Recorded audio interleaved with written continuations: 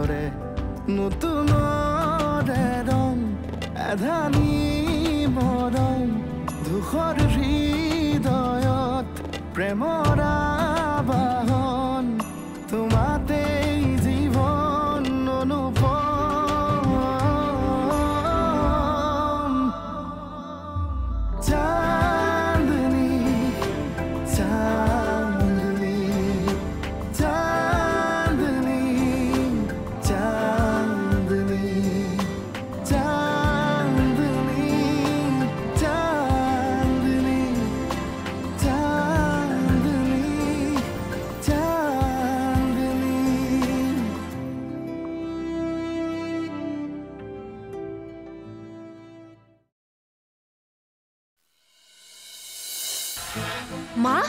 মা আপুনি কিয় কান্দিছে পাগল হৈছো মই সেইকাৰণে কান্দিছো কওক মোৰ নামটো কিন্তু ডাইৰেক্ট ক'ব নোৱাৰি ডাইৰেক্ট কৈ দিলে মোৰ প্ৰতি আপোনাৰ এটা বেলেগ ধাৰণা হৈ যোৱাৰ চান্স এটা আছে ককায়েক ভনীয়েকৰ কাজিয়া একো নাই একো নাই এইবোৰ ভাল হৈ যাব একো নাই কোনো নহয় সি মোৰ তাৰ কোনো কথা লৈ দ্বিতীয় দিন এইখন ঘৰলৈ নাহিবি কিয় আপুনি তাক উঠাই আনি ভালকৈ দুই এচাহ দি দিলে গোটেই বেকগ্ৰাউণ্ডটো সি হৈ কাঢ়ি দিব বহুতৰে বেকগ্ৰাউণ্ড এই থানাত সলনি কৰা উদাহৰণ মোৰ আছে।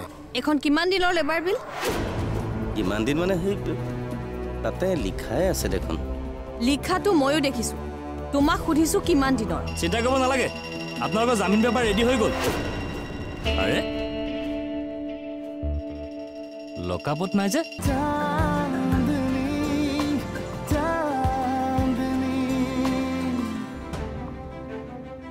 বৌ অলপ ডিষ্টাৰ্ব হৈ আছে।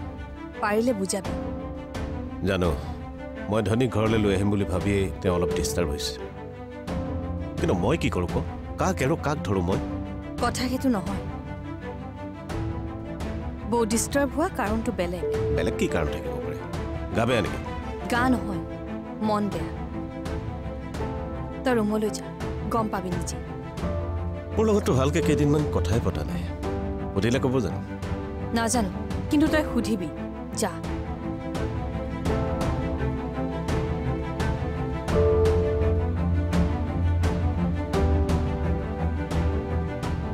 দাদাই এই কামটো কিয় কৰিলে?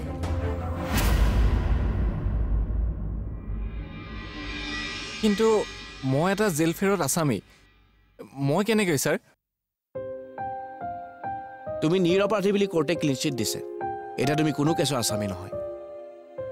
ছাৰে কৈছে যেতিয়া এইটো সংক্ৰান্তত তুমি এপ্লাই কৰি দিয়া ডেকা ল'ৰা। আমাৰ থানালৈকে তোমাক ছাৰে লৈ আহিব নহয়। পষ্টিং ক'ত হয় মই ক'ব নোৱাৰিম কিন্তু তোমাৰ কেপাবিলিটি আছে। আৰু তোমাৰ চাকৰি এটা খুবেই প্ৰয়োজন সেইকাৰণে এপ্লাই কৰিছোঁ। কিন্তু মই ইণ্টাৰভিউত পাছ কৰিম জানো? মনত দৃঢ়তা থাকিলে সকলো কথাই সম্ভৱ। আৰু কাম এটা আগতীয়াকৈ নহ'ব বুলি যদি তুমি চেষ্টা নকৰাকৈ থাকা তেতিয়াহ'লেতো জীৱনটোত একোৱেই কৰিব নোৱাৰিবা। মই তোমাৰ বাবে এইখিনি চিন্তা এনেই কৰা নাই। মোৰ অকণমান ভুলৰ কাৰণে তুমি এমাহ জেলৰ শাস্তি খাবলগীয়া হ'ল। তাৰ প্ৰায়চিত্ৰ বুলি ভাবিব পাৰা তুমি। এনেকৈ নক'ব ছাৰ। আপুনি বহুত ভাল মানুহ। সকলো পুলিচ আপোনাৰ দৰে হ'লে সাধাৰণ মানুহ আৰু পুলিচৰ সম্পৰ্কটো বেলেগ হৈ পৰিব ছাৰ। পুলিচ বুলি ক'লে মনলৈ অহা ভয়টো নোহোৱা হ'ব। আমিতো ছাৰৰ লগ লাগি থানাখন তেনেকুৱা কৰিবলৈকে বিচাৰিছোঁ। কিন্তু এই যত চব গণ্ডগোল লগাই আছে আমাৰ দাস ছাৰটোৱে। সোনকালে কাইটডাল আঁতৰ কৰি আছোঁ ৰ'বা। হাজৰিকাদা চৰি ছাৰ অঁ তুমি যোৱা। এতিয়া বেলেগ কথাত মনোযোগ দিব হ'ব নালাগে ছাৰ। এইখন লোৱা। সোনকালে জমা দি ইণ্টাৰভিউৰ কাৰণে প্ৰিপেয়াৰ হোৱা। All the best thank you sir sir ল'ৰাটো ভাল। সেইকাৰণেতো ইণ্টাৰভিউটো দিবলৈ কৈছোঁ। চাওঁচোন কি হয়। দাস ছাৰে কিবা জেং লগাব নেকি এইটো সংক্ৰান্তত ছাৰ? নোৱাৰে। তাকে এতিয়া কোৰ্টৰ পৰা কেনেকৈ নিজে সাৰি আহে তাকে চেষ্টা কৰিম। বেলেগৰ কথাত মাথা মাৰিবলৈ সময় ক'ত? তেনেকুৱা হ'লেতো ভালেই। অহ আপোনাক কথা এটা সুধিবলৈ পাহৰি আছিলোঁ ছাৰ। কি কথা? কওকচোন। চান্দিনীৰ বৰদেউতাকৰ জামিন হোৱাৰ কথাটো কি হ'ল? অহা সপ্তাহত জামিন কনফাৰ্ম। কিন্তু কিন্তু কি ছাৰ? থাকক দিয়ক। মাত্ৰ এটাই প্ৰাৰ্থনা কৰক। চান্দিনী আৰু মনৰ সংসাৰ ভঙাৰ কাৰণ যাতে মই নহওঁ।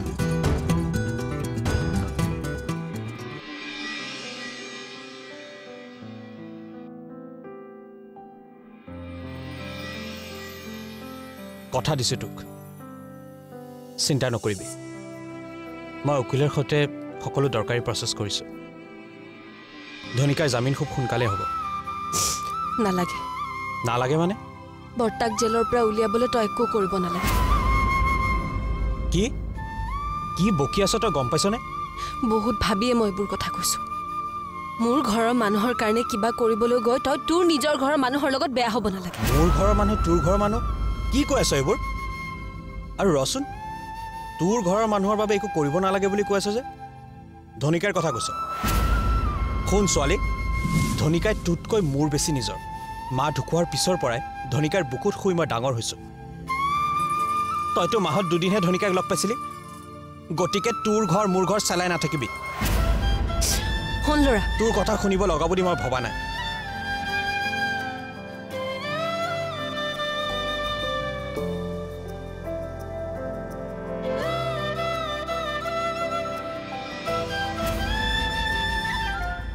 তই?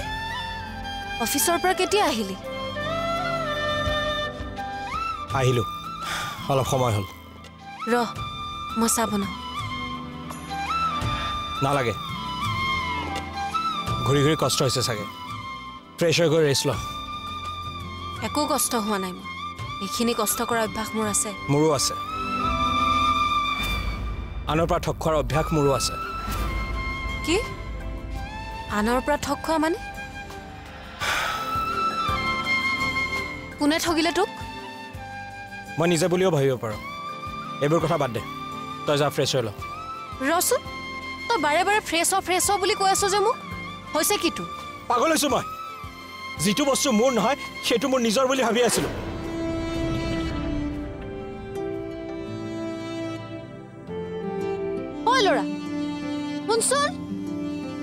কি আছে মানে? ঘৰখনৰতো সকলো বস্তুৱে তাৰ। কি বস্তু বা তাৰ নহয়? তই তাৰ নহয়।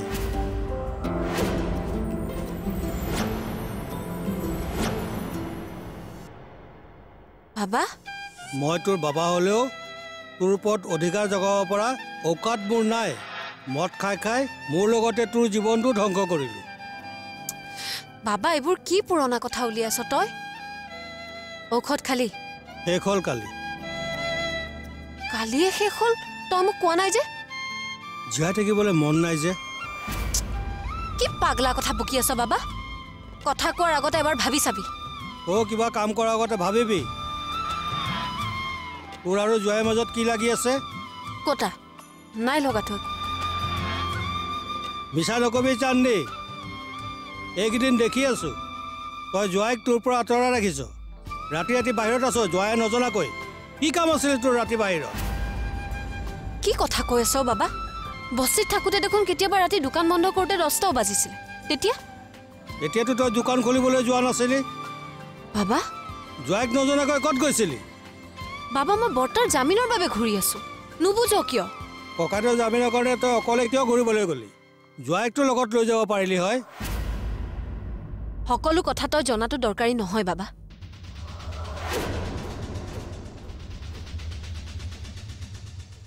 কিবা এটা নিশ্চয় হৈছে।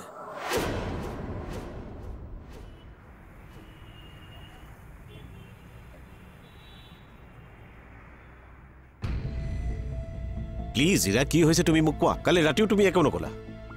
আপোনাক কথাটো ক'বলৈ মোৰ সাহসেই হোৱা নাই। নুবুজে কিয় আপুনি? আহা কালিৰ পৰা মাথো একেখিনি কথাকে কৈ আছা। ক'বলৈ সাহস নাই ক'বলৈ সাহস নাই। প্লিজ মোৰ আৰু টেনশ্যন নবঢ়াবা। কি হৈছে মোক কোৱা? এনেকৈ কওঁ মই আপোনাক কথাটো। বাৰে বাৰে সেই একেখিনি কথাকে। প্লিজ হীৰা। মোক আপুনি ক্ষমা কৰি দিব। যাক নিজৰ বুলি ভাবিছিলোঁ সিয়েই মোক কিয়? ৰৈ গ'লা যে? কাৰ কথা ক'ব বিচাৰিছা? কোৱা আকৌ। এক মিনিট। অঁ বন্ধু কোৱা। নাই নাই নাই নাই ঘৰতে আছোঁ। হা।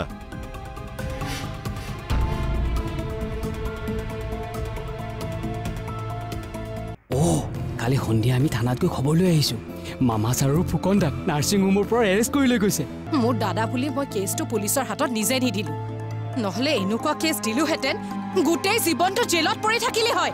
দে তেনেহ'লে জেললৈকে পঠিয়াই দে মোক। কিবা বোলে পাক্কা প্ৰমাণ নাই পালে আকৌ ধৰিব। তিলটোকে তালটো কৰি কথা নকবা গজেন। সন্দেহৰ ভিত্তিত পুলিচে বহুতকে গ্ৰেপ্তাৰ কৰিছে। অঁ এতিয়া কোৱা কি হৈছিল? অঁ এতিয়া কোৱা নিজৰ বুলি ভাবা কোনে কি কৰিলে?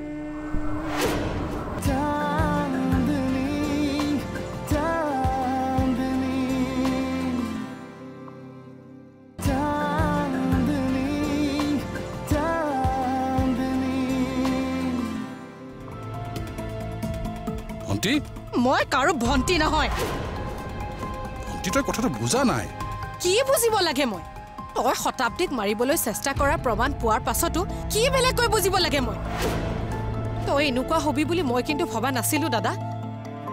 আদি তোৰ ভাগি নহয় নেকি? তাইক মাৰিবলৈ কেনেকৈ চেষ্টা কৰিব পাৰ তই? নোৱাৰো মাৰিব মই তাইক। প্লিজ দাদা মোৰ আগত নাটক কৰি নাথাকিবি।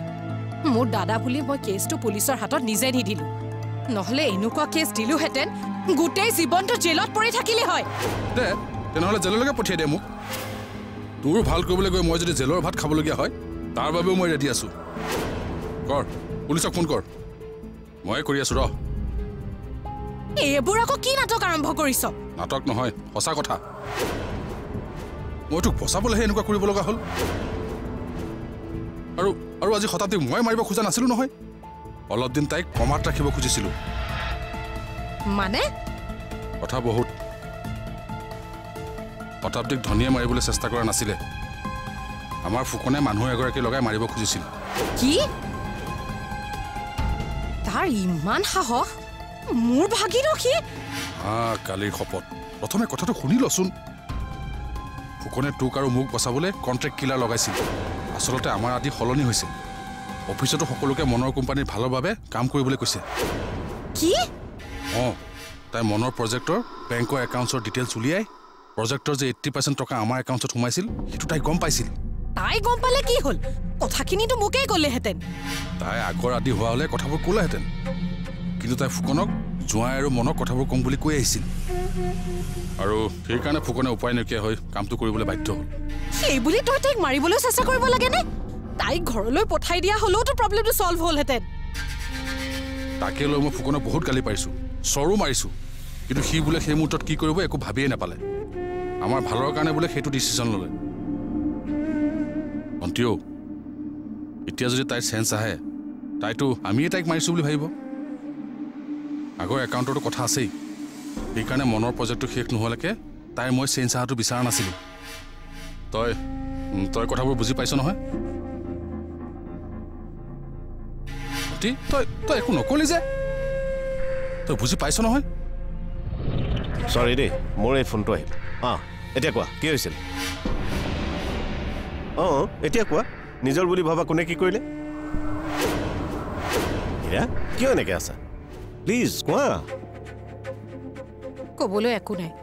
কেতিয়াবা মানুহে চকুৱে দেখাটো সঁচা বুলি ভাবি ভুল কৰে। মোৰো ঠিক তেনেকুৱাই হৈছিলে। হীৰা হীৰা দেখিছেনে? কালিৰ পৰা কিবা এটা কথা লুকুৱাই ৰাখিছে। এতিয়াও কম বুলি নক'লে একো। অঁ বন্ধু। নাই নাই নাই ফোনটো কাট খাই গৈছে। মা কালিৰ শপত। জমৰ দুৱাৰদলিৰ পৰা ঘূৰি অহা যেন লাগিছে অঁ এইখিনি কথা ফুকনকো জনাই থ'ব লাগিব।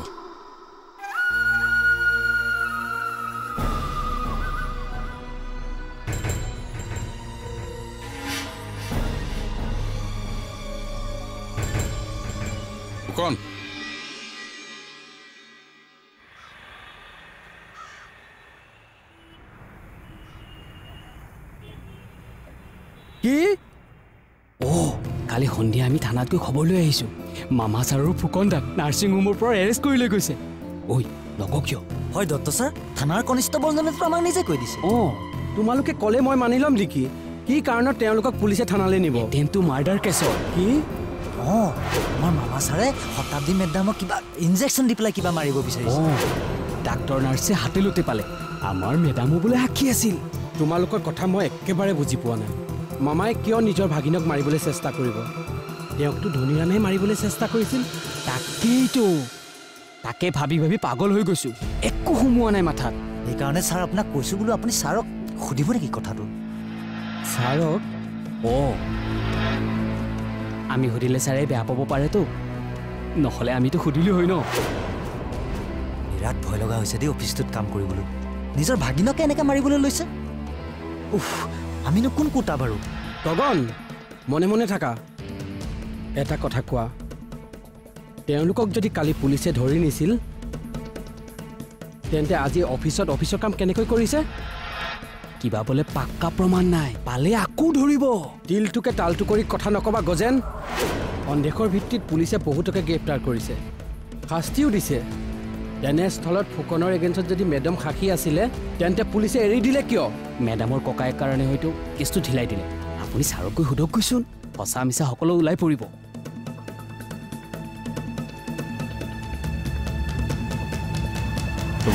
এইখন ঘৰলৈ বোৱাৰী কৰি আনোতে যিখিনি বিশ্বাস তোমাৰ ওপৰত আছিল এতিয়াও আছে। আগলৈও ৰাখিবা বুলি তুমি মোক কথা দিব পাৰিবা? এই ঘৰটোৰ ভিতৰত ধূলি? জানো কেনেকৈ সোমাল ধূলি বতাহত আহে আৰু বাহিৰৰ বতাহবোৰ ঘৰৰ ভিতৰলৈ সোমাবলৈ নিদিবা। কি হ'ল একো নক'লে কথা দিব পাৰিবা? পাৰিম দেউতা।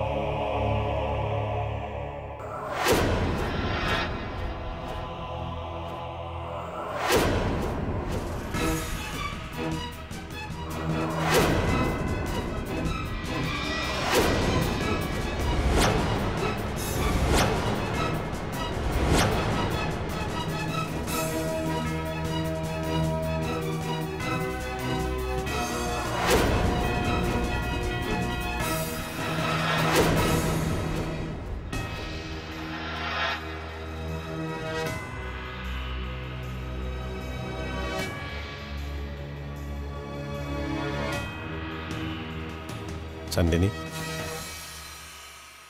দেউতা কওক কি ক'ম তোমাক তোমাক আগতেও কেতিয়াবা কিবা কথা বেলেগকৈ ক'ব লাগিব বুলি ভবা নাই আৰু এতিয়াও ভাবিব নলগীয়া হ'লে মই সুখী হ'ম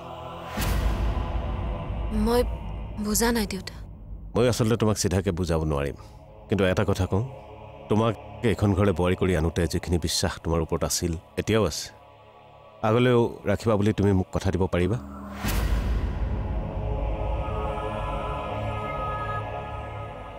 কি হ'ল একো নক'লে যে কথা দিব পাৰিবা? পাৰিম দেউতা। থেংক ইউ তুমি নাভাবিবা তুমি ক'লৈ গৈছা কাৰ লগত গৈছা মই একো নাজানো।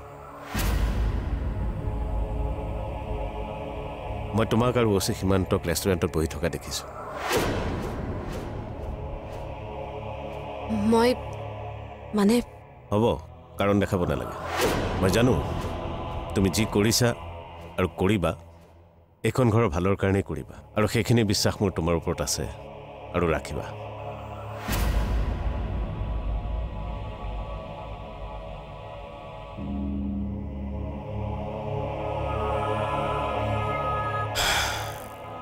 তই কালি ছাৰৰ লগত কোৰ্টলৈ যোৱা বুলি ভাবিছিলোঁ। কোৰ্টলৈকে গৈছিলোঁ। ছাৰৰ ভোক লগা বুলি কোৱাত হ'ব ভালে কৰিলি। ভোক লাগি থাকিলে কাম কেনেকৈ কৰিব?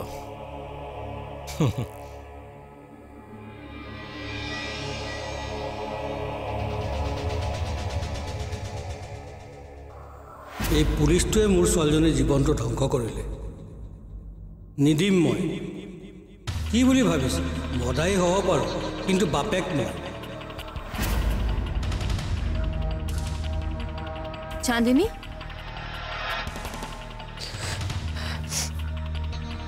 তুমি কান্দিছা কিয় নাই কন্দা পেহী ধূলি আছিল যে কোবাই দিওঁতে চকুত সোমাল নেকি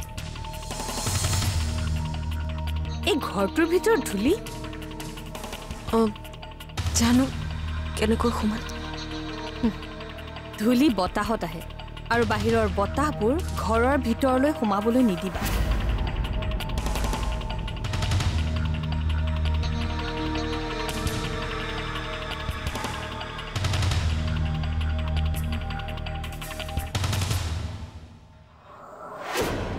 মই বেলেগ এটা কথা সুধিম বুলিহে আহিছিলোঁ ছাৰ।